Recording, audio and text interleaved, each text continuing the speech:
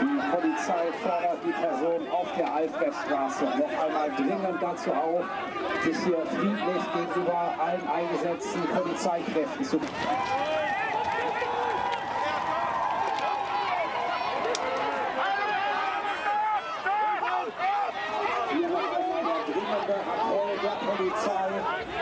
an die, an die Person auf der Alfredstraße. Verhalten Sie sich friedlich. Thank you.